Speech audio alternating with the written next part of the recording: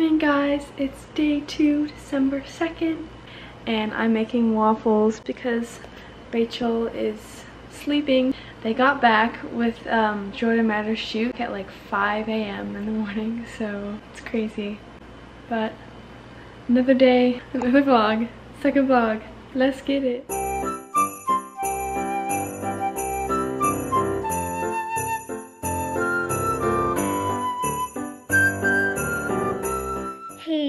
It's me again, and I'm doing school again. There's David. I have journal, and it says observe the cloud formation and describe them. So me and Dave are gonna go outside and see what the cloud formation is and see if we see anything. So No. let's go, Dave. Okay, we're outside and we're gonna see. David's saying there's no cloud shapes, but there is. Do we see anything? Doesn't look like there's anything today. That was a fail. We couldn't find any cloud thingies, so that didn't work. Hey guys! Since NBC is going to be airing the Radio City Christmas Spectacular tonight, we thought it would be fun to do a little Q&A with you guys about what it was like to be Clara at Radio City. So let's go! The first question is, what was the audition process like? The audition is open call. Basically, you just need to be on point to audition. It doesn't really matter how short you are, I guess, but you have to be under 4'10". Yeah, there's usually several cuts, so they bring everyone in, they do like a short combination with HPAs and passes, then they cut like half the room or the room. over half the room. Then they teach you some choreography from the show usually. If you make it to the end, then they take your measurements. Did you have to audition every year? And yes, we both auditioned multiple times. Even if you were Clara the past year, you still have to re-audition every single year. How did you find out you got the role? Like call your parents. It's really exciting when you get the call. The first time that I got the call, I was in an NYCDA Nationals like opening number rehearsal. My mom got the call and she like came into my rehearsal to tell me and I was really happy. Did being in the show cause you to miss ballet classes? Yes. Yeah, most of them. It's kind of hard doing the show to stay in shape. Thankfully when I did it, one of the ensemble dancers taught us some classes and I also went to Nashville Ballet and took some classes. There's a lot of shows that you have to do and you don't really have that much time for classes. Like you will warm up on your own, do like a barre, but you don't like have class with teachers. Did you get paid? Yes. Yes, we did get paid. And it pays very well. How much rehearsal time did you have?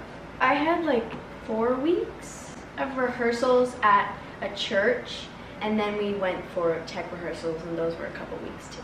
I actually went to Myrtle Beach first and had rehearsal for like 10 days and then I went to Nashville and then we just kind of rehearsed a little bit. You don't get a lot of rehearsal time. Teaching you how to be a professional. You gotta pick up things fast, pick up your corrections fast, know where your marks are and all that stuff. Did you get the part the first time you auditioned? So I did not get it the first year, but Rachel did.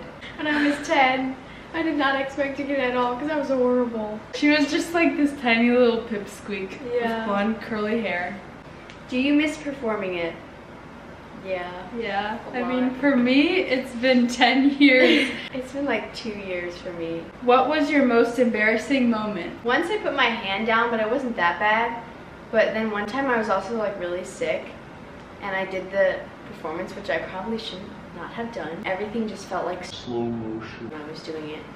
It was really weird. In Nashville, when I did it, we had a bunch of different parts that we got to do. One of the parts I got to do was the gingerbread girl. Our costumes were like really thick. So if you fell flat on your face, it didn't hurt. And you were literally just like this and you couldn't move except side to side. Thankfully, it was just a dress rehearsal. It wasn't a show, but in one of the dress rehearsals, I just fell. And you can't get up, so you're just like flopping around on the floor. I was just laughing so hard in my costume that I couldn't get up until someone picked me up. Which costume was your favorite? I think the nightgown was my favorite. I also had a tutu, but I really liked the nightgown. My favorite was this really pretty white dress. This dance we did, it was called Carol of the Bells. And with the lighting and everything, it always looks so pretty. Favorite memory on stage? Well, I do have a favorite part of the show. I actually had a crush on one of the ensemble dancers. There was this part where we got to dance together. We did like an out and a twirl in sort of thing. And then I sat on his knee and that was my favorite part because like I had a crush on him. So.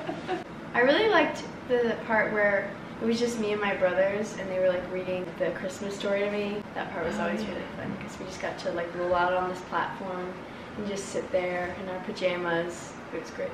What would a typical performance day look like?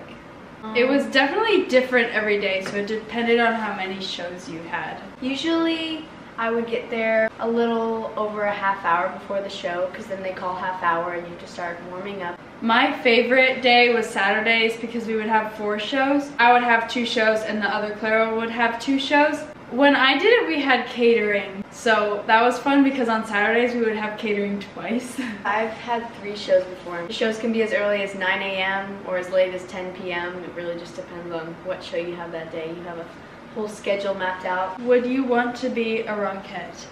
Absolutely. We would both love to be Rockettes, but the only problem is we wouldn't We're be way too tall enough. short. Unless Like, I had like a huge growth spurt. I would want to be an ensemble dancer though because you don't have to be tall for that. What is something different about being Radio City Clara from a typical Nutcracker? Being Radio City Clara, it's a lot shorter. The full Nutcracker is like an hour and a half, and Clara does a lot more dancing. But in this Nutcracker scene, I would guess it's like 10 minutes, and it's not really the classic Nutcracker story because there's dancing bears. Yeah. The whole show is like just a bunch of Christmas things put together. And so they just show a little section of Nutcracker. What was the hardest part of being Clara? For me, it was commuting to Oh. New York oh. City every single day.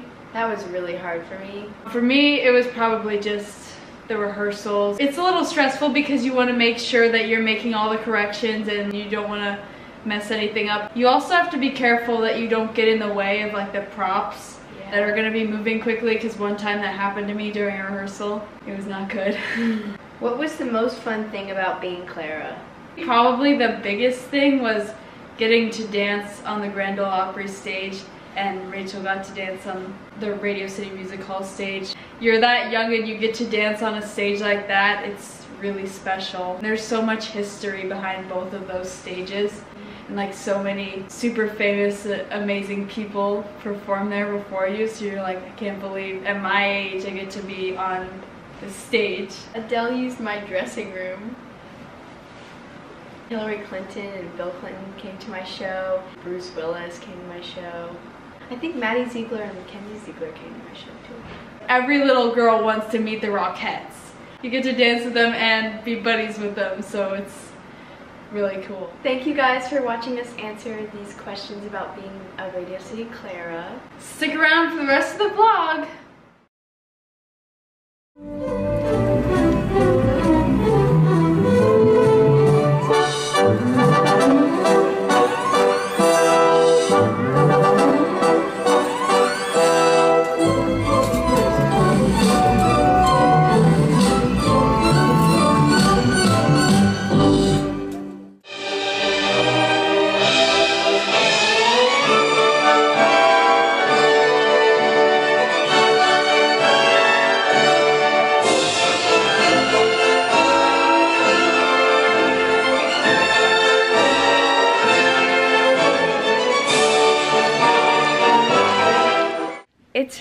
4.30. Right now we have Meet the Artist with Alessandra Ferri, which is very exciting. She's a super famous ballerina and we get to listen to her speak on Zoom.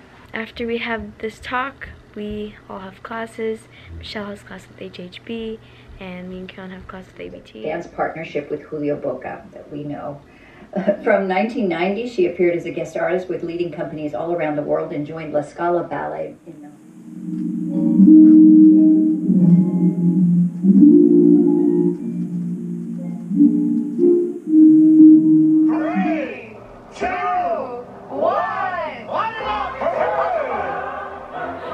10:15. We finished our ballet classes for the day and we just watched the tree get lit up and we're about to watch the Christmas spectacular airing on NBC. We're probably going to end Vlogmas Day 2 right now. See you guys tomorrow for day 3 and Merry Christmas. Um, I don't know. Hey? Yeah. Wait? But I couldn't. Stay zoomed in so I can keep this. We have phones. Okay, so. Stay down. Slow down. That's cringy. I know.